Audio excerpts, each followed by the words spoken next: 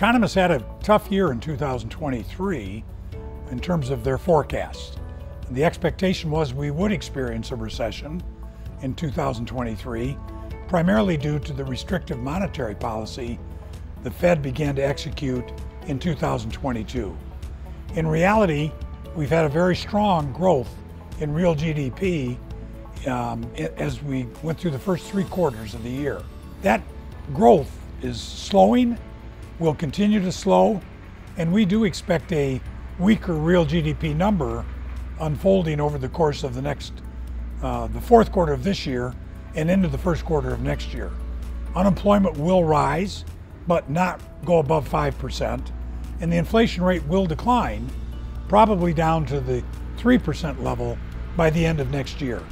So the environment is conducive for avoiding a recession, but also experiencing modest growth well below long-term trendline results. One of the wars that have to be uh, dealt with next year is the effort that the Fed has on a monetary policy standpoint to combat what has been a very stimulative fiscal policy position since the pandemic.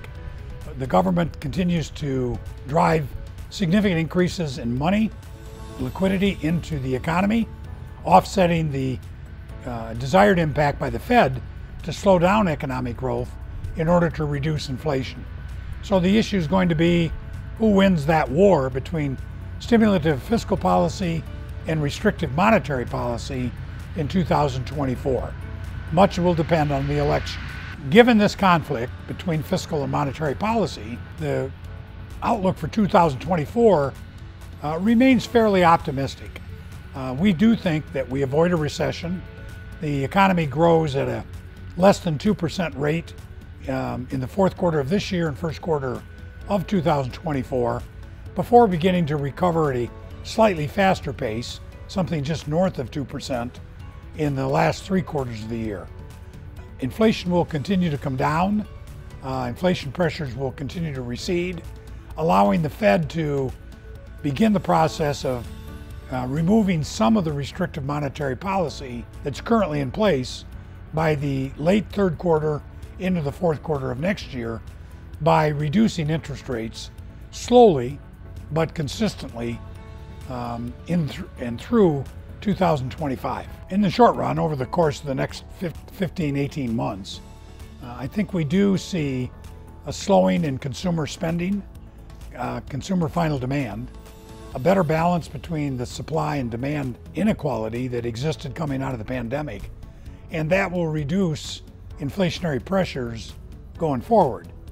The question about beyond 2024 will be really dependent upon decisions made about fiscal spending programs, taxes, and the Federal Reserve's decision about maintaining restrictive monetary policy.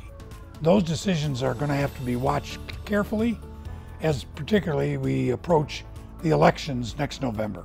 Northwest Ohio is going to, and is now in fact, uh, dominated by the distribution system opportunities.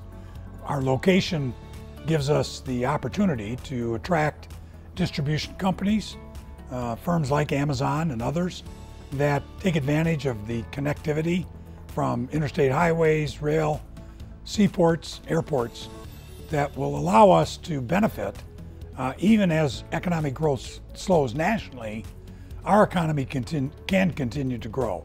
I see the housing sector continuing to be strong in terms of residential construction because we continue to be short housing in Northwest Ohio. The, the question is, can we fulfill the labor requirements that companies are looking for as they look for expansion opportunities?